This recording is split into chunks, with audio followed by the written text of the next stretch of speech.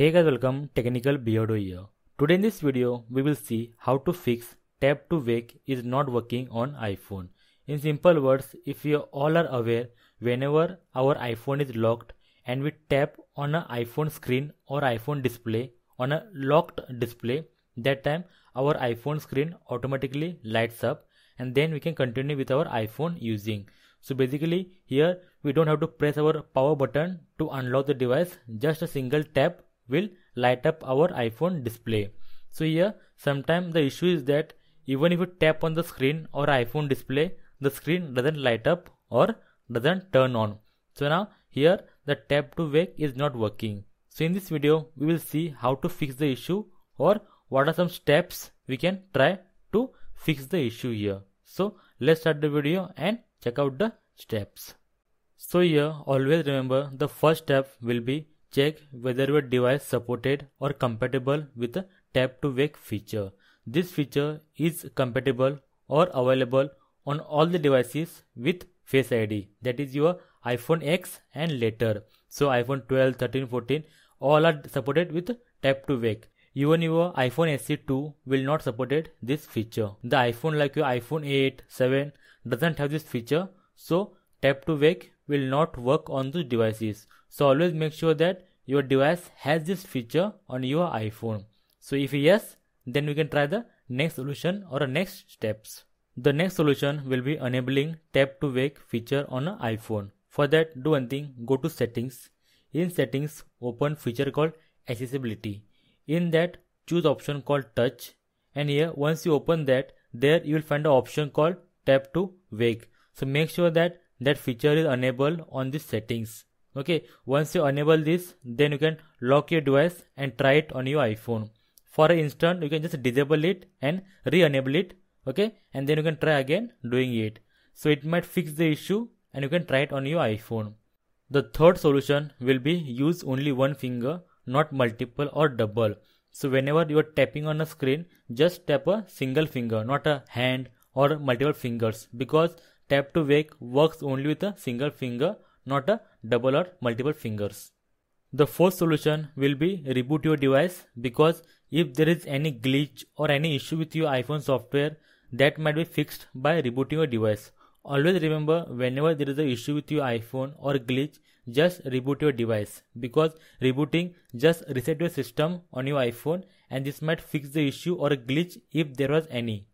The next solution will be disabling always on display on your iPhone. This feature is supported or available on models like your iPhone 14 Pro and 14 Pro Max.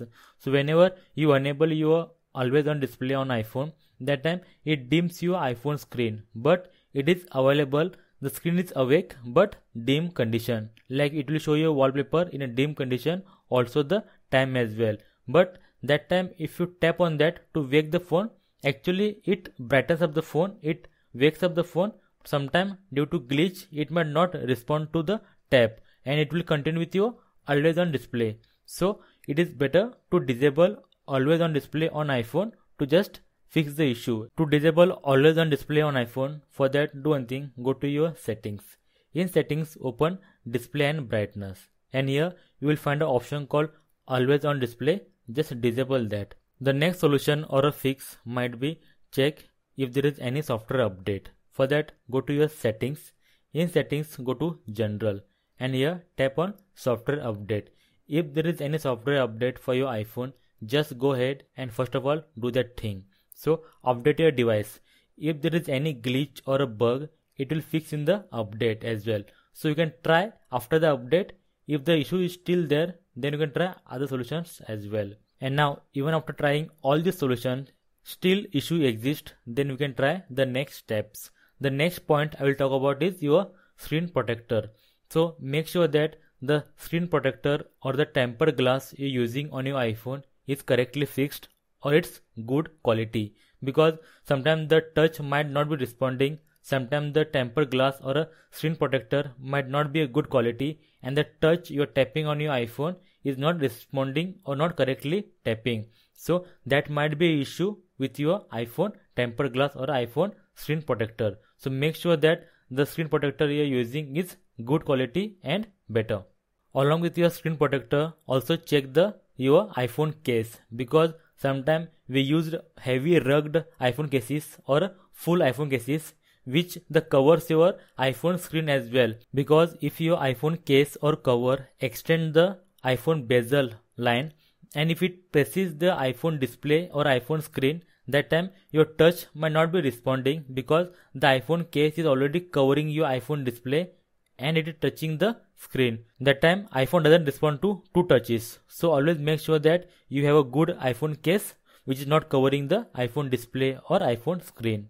The next thing you can try is disabling and enabling your low power mode. Sometimes the low power mode will disable certain things, certain features on your iPhone and by glitch or bug it might disable the tap to wake feature as well. So just to avoid this or try this you can disable the low power mode and try this feature again and you can enable the low power mode again back. And now the next thing we can try is reset all settings. For that do one thing go to settings. In settings tap on general. In general scroll down till the last and here you will find an option called transfer or reset iPhone. Tap on that and here choose option called reset and from here just go ahead and tap reset all settings. It will not wipe any files from your iPhone but it will reset all the settings and get back to your default settings on your iPhone. It might fix or correct any glitch or a bug from your iPhone. Now the last solution. Even after trying all the solution still the issue exists then there might be a serious issue with your devices. So here you have two options. That is first one is your restore the iPhone. You can have a using a laptop you can have a backup. Other thing is that take your device to your Apple Service Center. If there is any physical or a, any hardware issue with your device, it might get fixed with there only. So this is the last one. I hope at least one of them will surely fix the issue on your iPhone. And if any one of them works for you, do let me know in the comment below. And until then, I hope it was a helpful video for you. I hope you liked the video. And if yes, please give a like. Please subscribe for more videos on iPhone tips and tricks and iPhone solutions. Until then, Thank you very much. Bye bye. See you in the next video.